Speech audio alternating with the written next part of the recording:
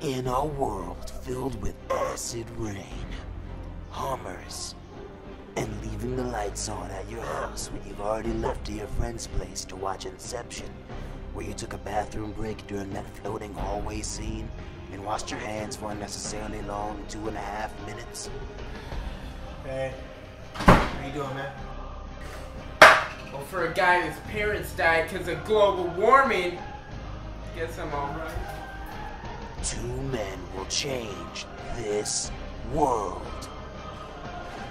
Some are born green, some achieve greenness, and some have greenness thrust upon them. Coming soon to save an ozone near you.